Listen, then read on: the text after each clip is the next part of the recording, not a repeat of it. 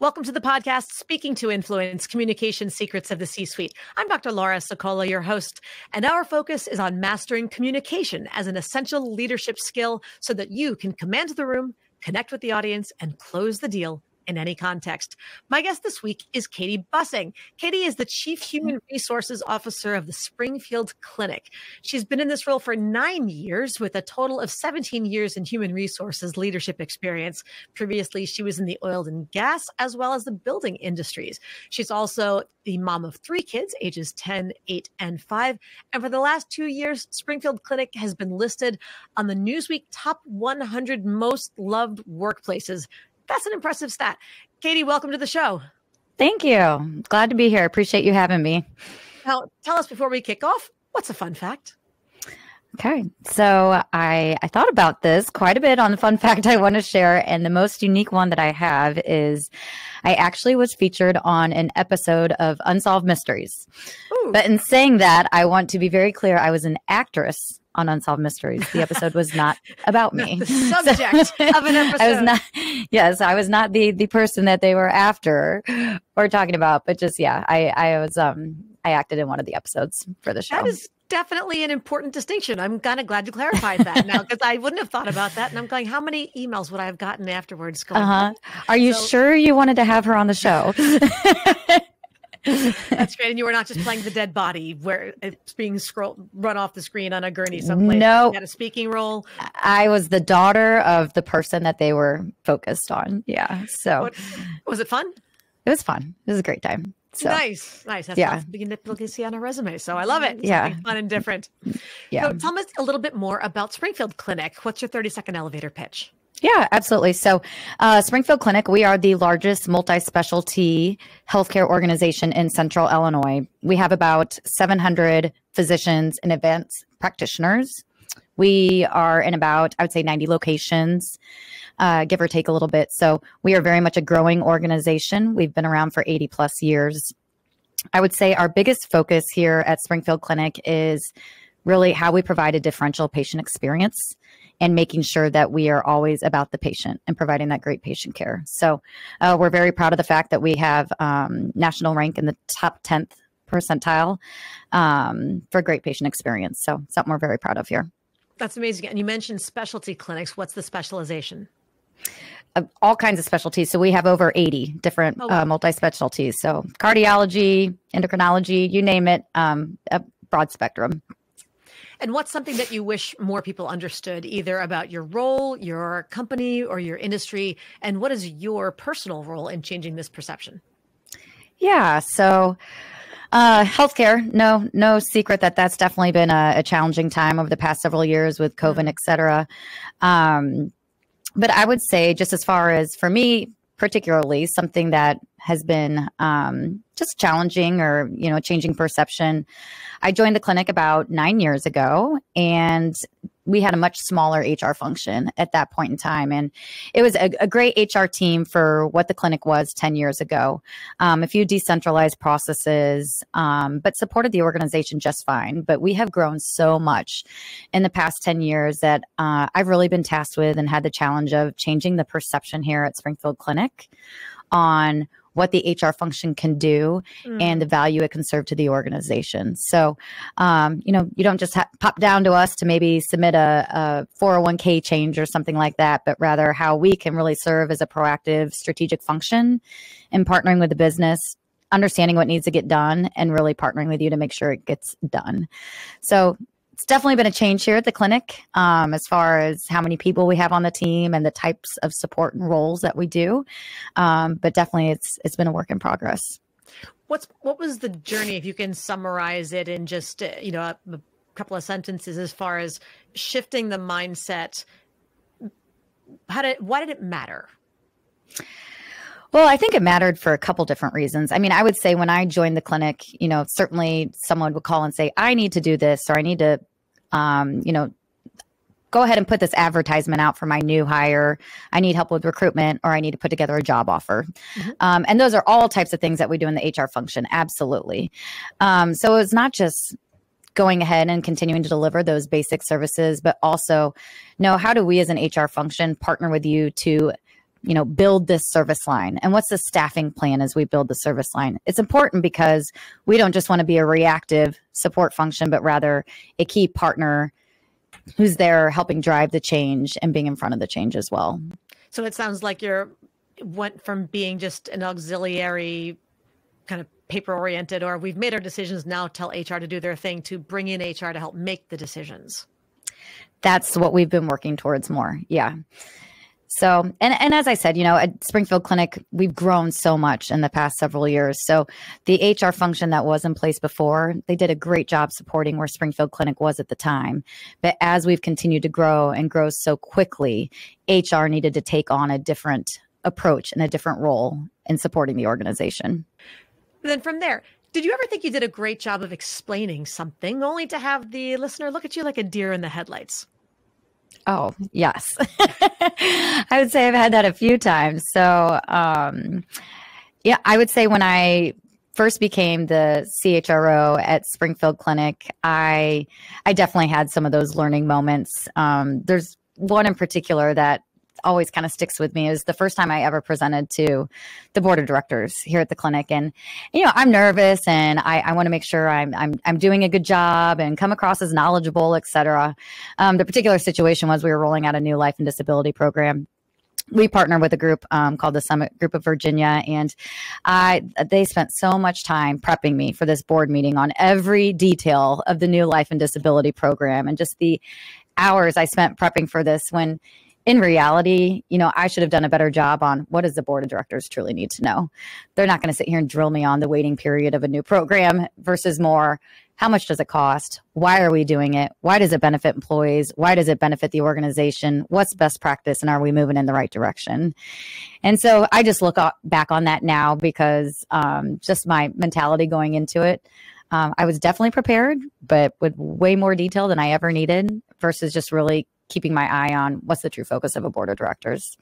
So, and that's so challenging and yet so common, especially A, for the first time people are speaking with the board for themselves, but yeah. also just as a general practice of who's the audience and remembering yep. to double check. And it's often something we don't know to ask. We're so used to presenting to a, a particular group, uh, whether it's a role, a function, a, a whatever it is, but then we know what's helped us be successful in communicating with that audience. And we forget that not everybody else is as excited about the same details. Exactly. Yes. Yeah. And my board of directors are a group of physicians, right? They're there to provide patient care. And so they really don't want to hear me ramble on about every single detail about a life and disability program. Mm-hmm. so. Did you get feedback from them or did you just sort of figure it out for yourself or did you get feedback from somebody else? You know, I think in that particular situation, um, I was very good at reading the room in the moment. So while I, my mentality going into the meeting was know this and this and this, and make sure you hit all these details very quickly, just picking up on the room and okay, I, they don't need that. And let's just shift back to why are we doing this? How much does it cost? Why is it value added to Springfield Clinic? And why, as independent owners and partners of the clinic, would they want to do this and keeping the focus there? So there's those are two different skills, and I think it's really impressive that you had both. In that moment, one is to just a read the room and go note to self, yes or no, is this working? Clearly, no. Let's make a shift. But then knowing what to shift to, I think so many people do have that first piece where they go, I'm not connecting. I, I, something's off. I'm just I'm not getting a good vibe out of this. But then they don't know where to go with it. And you figured out I'm in the weeds. They don't want to be in the weeds. They need right. to know the why. They want to know the strategic vision. They want to know, is this the right direction? And you were able to assess that so quickly. How was there anything in your brain that made you identify that's what I should be doing, not just that other thing's not what I should be doing? Because that's a whole different ballgame. Yeah, and I think it depends on the scenario too. I mean, I I think that's something I anytime I present to the board of directors now where I'll come with a high level pieces of information that yeah. I think they want to know. I always do a little bit of prep work in the background, talk to a, a, physician or two on what types of questions do you have on this. So I do that prep work before the board. But once you're up there and in the moment, um, you never know what what things they may have more focus on than others. And um, if I ever get lost, I just pause and I say, are there any you know high level pieces of information that i'm not hitting for you right now is there anything you're wondering about that maybe i haven't addressed yet and we can backtrack and I, I can hit those too. Um, so I don't have a problem just pausing and pulse checking the room. Um, and if I get blank stares, and, and then I go ahead and I just lead with, again, what do I think are the most important things for them to know um, in order to make an educated decision? So, and that's just as important the ability to to pause in the moment and just ask the question and say, what am I, what do you need? That I'm not providing, as opposed to hitting the panic button. So I think a lot of people right. would potentially ask the question, but almost cower in doing so. It's like, oh my gosh, I'm doing, I'm missing it. So how do I'm so sorry. I, it doesn't look like I'm yeah. Hitting, I don't, I don't, I don't sense that I'm doing like what you want, or I don't know. Is there something else? I'm sorry. I'm sorry. The over apology all over the place, and yep. you just want, you know, that's so. You tell me. Here's what I presented. What else do you need? How can I serve you? Exactly. So, and and you'll find too, at least I found, and sometimes in that situation, you'll have a physician or two that recognizes, you know, and they go ahead and nod and give you the confirmation of you've hit it, like thank you, we're good, or nope, can you steer us this way? So, um, it's it's just nice to get that additional confirmation. Yeah, and it's good to build a relationship over time where you've now done it who knows how many times over the last nine years that you've been there. So that a makes lot. it easier. You build so you have the rapport, mm-hmm. you know how to mm-hmm. read their faces. They'll just, I assume some of them will just interject when they have got oh yeah or something. They're not shy. Uh, yes, no. And no. you know that if they ask a question, it's not like them hitting the Acme trapdoor button from the Roadrunner cartoons kind of a thing. They're not going to shoot you out. Uh, it's it's just okay. I have questions. It's, it's, a dialogue. It's a conversation. So there's that yeah. comfort, which is great. And you know what? That you're right. They're not hesitant to to throw out whatever question they may have. They can get you know more detailed questions sometimes, um, and that's where and uh, everyone says this, and it's so true. But do not give a wrong answer. It is okay to say I do not know that at this particular moment, off the top of my head. I will circle back around with you, but but then circle back around like within the next 24 hours yes. and, and give them the answer. yes, yes. Don't make but, it up. They'll yeah, know if you're Do not make it up. Yes. So then you got to go back and contradict yourself and correct yourself, and it's just worse. Just don't even go there. Yeah, hip boots are not a good accessory for board meetings. I, I generally no, find no. a general consensus. Try and stay clear of that. yes, yes, love it. Now, when have you allowed yourself to be emotionally vulnerable with your team, and how did it impact your relationship with them moving forward? Yeah, you know, I have um I have a really close knit team, but it, it, definitely took some time to develop that rapport and and trust with each other. And I I think part of that too is just being open and honest with each other. No one does everything perfect. We all have different pressures in life. I believe you mentioned earlier at the beginning of the podcast, um, you know, I, am a single mom. I have three kids. They're 10, 8, and 5. And it can be hard sometimes, you know, um, juggling being an executive role in a healthcare organization and and being a mom and and sometimes you just have those days where you feel like you're feeling it both and um, you know I, I had a particular morning where I walked into work and I had a one-on-one with a member of my team and he was all excited to to hit something with me and I, I did I just had to look at him and say I am so sorry but you do not have my attention right now. Mm. And I had the worst morning and XYZ happened and I just started crying. I was like, I'm not being a good HR exec right now. I'm not being a good mom right now. I'm failing at everything. And um, we, we got to zero of his topics that morning, but he definitely let me just vent and um, air some frustrations and also help support me in that no, I wasn't feeling it both. Um, I'm just human. And I, I guess my point in that story is, you know, when I'm vulnerable with the team, they feel comfortable being vulnerable in return with me too. I always want them to be honest with me. If they're struggling with something, I want them to talk to me about it. I can't help if I don't know what's going on. Right. Um, and vice versa. So. And did you, was there any direct um, observation that you could make as far as how he related with you afterwards or a way that you were able to then get more people to open up to you have having now then modeled it? Yeah, I mean, and I think you can see the change in demeanor right away too. I mean, here I was with my direct report, and he's ready to present something out to me, and you know, obviously has done his homework and ready to go, and um, almost had his game face on, right, and was ready to present. And then after I just basically said, halt. You know, mm-hmm. you don't have my attention right now. You just saw him kind of relax and have him go, oh, Katie, like, what's going on? and just talk to me. Um, so again, it's just being able to take down those barriers and, and chat with your team. And we're all in it together. So uh, I don't know if you hear the phrase a lot, but, you know, we try and be a basketball team, not mm-hmm. not a group of golfers, and uh, we're here to support each other. So yes, yes, we need everybody to be on the court working together, yep. shooting towards the same basket. Not that I don't like golf, but it, it's great. But no, it's not it here. Is, it, right, right. But everybody playing okay against each other and against yourself, which is also part of the challenge of golf. For the handful of times that I have pitifully wielded a club, if I'm going to be completely honest with myself, I'm, but uh, you could say you're playing against yourself, but you're still showing up on your own. Nobody's going to help you out on that one. There so you go. That's a that's a very lonely game. But what about a time when you needed to assert yourself powerfully? I would say a time I needed to assert myself powerfully, uh, really hold my own is really as we were continuing to navigate COVID as an organization. You know, just like several other organizations, we really were um, challenged financially and really needed to make good decisions to make sure we are in the best financial position as an organization. And so we'd have a lot of conversations as an executive team, as a, a physician physician owned group on where do we cut. And we had held on merit increases and held on profit sharing for one year. And the discussion came up again what do we do for that next year?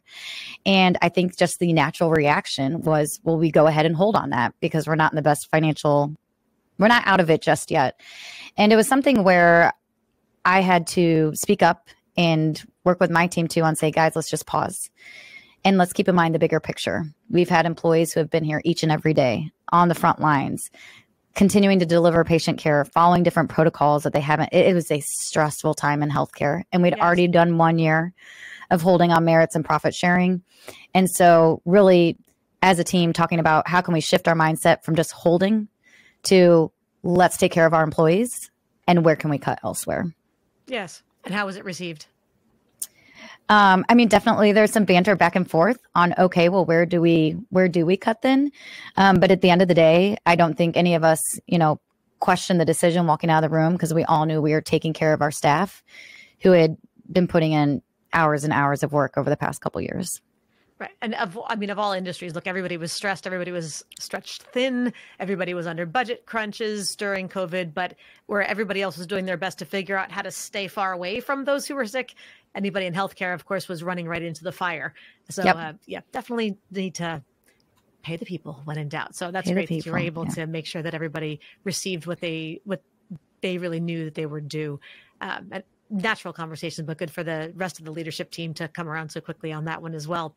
Well, Katie, I think this is a great opportunity to shift gears into challenging our listeners, not just talking about okay. past challenges, but let's talk about the listener 24 hour influence challenge of the day. This is a chance for you to yes. talk directly to our audience and challenge them to take one step that they can complete within 24 hours to have more influence. So, how would Absolutely. you like to challenge our listeners today? Yeah. So, well, first of all, thank you for taking the time to listen listen today. And and my 24 hour hour my 24 hour challenge would be to and uh, reach out to someone you don't know in your organization. Uh, maybe you don't know their position. Maybe you don't know them very well as an individual, but go have coffee with them, learn a little bit about them personally, and then go job shadow them for an hour or two. Um, I I try and do that um, on a regular basis here at the clinic, and um, I find it's very um, time well spent. And so that'd be my challenge. You're going to learn something new. You're going to make a new professional connection, and um, it also shows that as a leader, you're you're willing to take the time to get out there and, and know your team. And the give me a couple of examples of different roles that you've shadowed. Oh gosh, um, anything to I've taken a day and and shadowed one of our physicians in primary care. So I'm in and and seeing the patient if if they're okay with it and they consent. Um, to I will sit with a position that we call our PAS, and really it's the it's the first position you see when you walk into the clinic. We check you in, we take your insurance cards, um, different systems that they're working through. So um, sitting and spending four hours with them on learning how they process the insurance and check people in and make sure that the patient's having a good experience. So all types of roles really understanding what people on your team and otherwise are are experiencing and how everybody else just recently uh, we had someone else jonathan reed was one of our guests. And uh, he his question was anybody you see in from your company ask them how their role affects the patient's or excuse me, the the client, the customer experience. Yes. And this is such a great example of how to do that in, in spades. I mean, this is not just a little one, but that's it's huge to be able to truly experience somebody else's job for an hour or even 15 minutes for that matter. Absolutely. What and I encourage people to shadow me too. Um, you know, one of my favorite stories is I had a member of the HR team. So I also I do coffee with Katie, um, which sounds kind of silly, but it works. Um, and that's that's just my way of having some one-on-one time with each member of the HR team here at the clinic. And um, you know, I, I had a, a young gentleman who was newer to the organization, and he sat down and he looked at me and he goes, "So what do you really do every day? Like, do you just sit here? And um, so I told him, I was like, why don't you come job shadow with me for a day and you, you can see what I do as well. So I think it works both ways too. And what's what's the biggest eye-opening experience you had when shadowing somebody else? I think it just depends on the role. Um, you know, I think it's always interesting when you job shadow in other departments. At least when I go, I have the lens of, okay, well, how can my department do something differently or better to better help support that department? Mm. And so it's just, it's nice to get out of your own little silo and see things from their perspective. You know, you may have a leader who, from an HR perspective, you're frustrated because maybe they didn't complete their performance evaluation on time or whatever the scenario may, may be. Yeah. But when you when you get out of your um, HR uh, silo and go sit with them, you see how they're scrambling back and forth, making sure the operations are running smooth, providing that great patient care, and just so many different things that are on their plates gives you a little bit better understanding of why maybe they didn't get the performance evaluation done right away. So well, I'm inspired by the challenge. So hopefully everybody else is too. And I'm guessing you inspire a lot of people. So tell me about a time when you needed to inspire others and how did that go? Yeah. So I I actually uh, when you sent these questions over for me to think about ahead of time, I I was a little stumped on this one. Um, I, I just kind of paused. I was like, gosh, I I don't know if I really consider myself inspirational, and if so, what I do to inspire people. So, I reached out to a few people on my team, and I, I said, "Well, first of all, don't lie to me. If I don't inspire you, don't don't tell me that I do. Um, but if I do, would you mind sharing with me how?" And um, so, I, I have an individual on my team, and she she's been with me for about seven years now, and such great potential. And but her her biggest downfall was she always doubted herself, mm. and the way she said that I inspired her was just continuing to push her, see the potential that she has, um, giving her projects where maybe she was doing the higher level work without necessarily taking on the title, uh, and not to prove it to me or the organization, but really just to prove to herself that she can do it. And um, so she's a, a, director here at the organization. And gosh, seven years ago, she I remember her looking me in the eye saying she she didn't even want to be a, a manager. And mm. so it's just it's really cool to see how much she's grown over the past several years. Oh, that's beautiful. To, and I love that you just asked people because I think so often we're afraid to ask for any feedback, constructive feedback, positive feedback. You know, tell me something I'm doing well for you. Tell me something that I could do to improve. Tell me how I can help you more. Tell me how I can do this or that. But what's working, not just what's yeah. Not, without feeling well, like you're compliment fishing.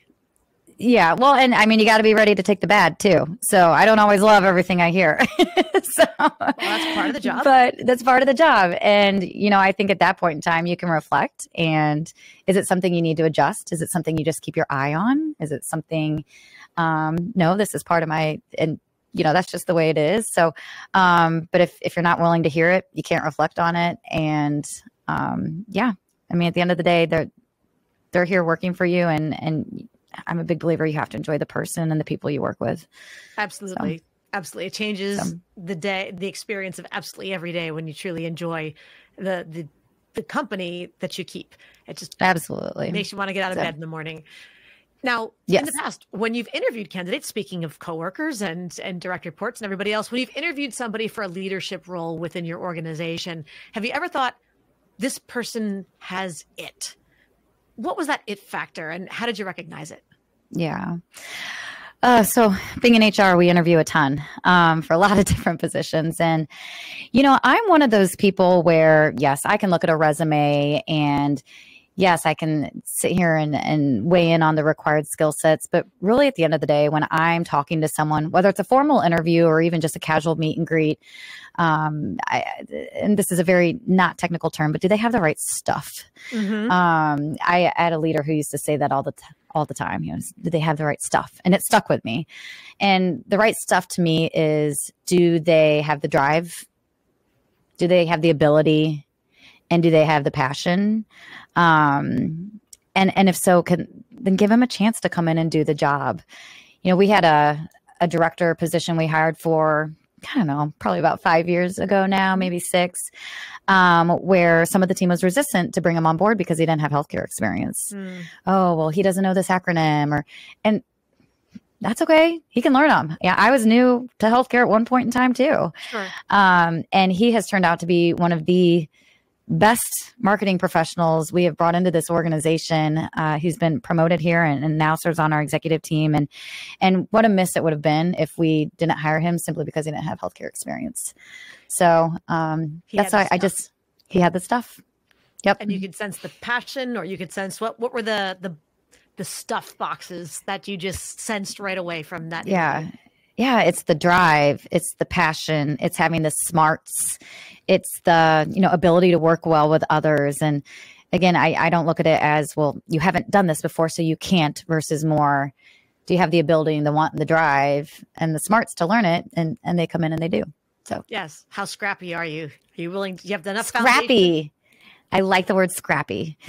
I'm going to start using that one more I think that's a really important technical term that is utterly underused. You know, it's it's I'm going to define scrappiness as enough foundational skill and knowledge to be able to figure out whatever else you need to figure out and the willingness to go and figure it out.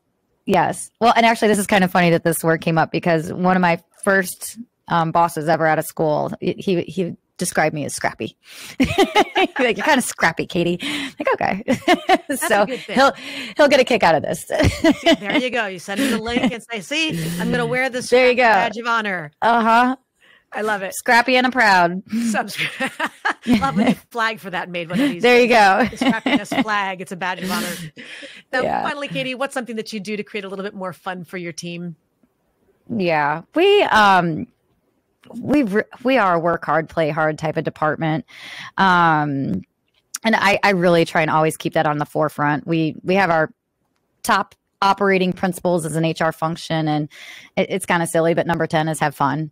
Mm-hmm. Um, so, you know, it's important. Again, you spend so much time at work. You know, I, I, want people to be motivated. I want them to produce results, but I also want them to enjoy being here. And the happier they are, um, the better we work together as a team and the better yes, the results ma'am. we have as a department. So, you know, we do anything from happy hours here or there to a game night to once a month we do HR huddles where um, we don't necessarily hit work updates, but we more just celebrate each other, call out kudos, who has birthdays, who has anniversaries, who has a funny story. Um, it's just our time to to be friends and human with each other. And so um, I, I feel like we we do it a fair amount here and in the it HR team. to be huge, right? It can be larger things and events and happy hours, and it can be something more internal. It can be the games, can be.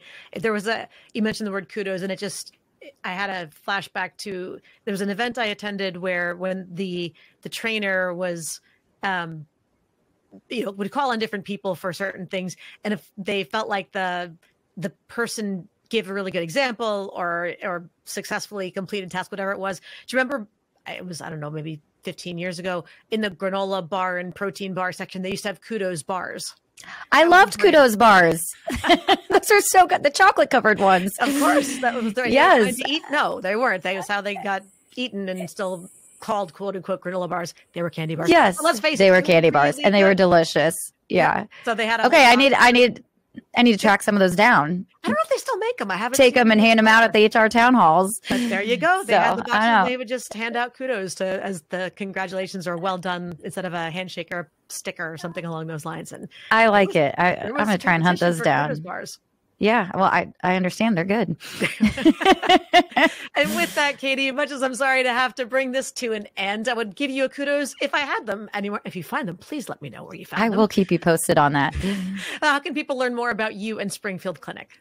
Yeah, absolutely. So, um, if you ever want to get in touch with me, I'm on LinkedIn. So please reach out. Just send me a, a, message through LinkedIn.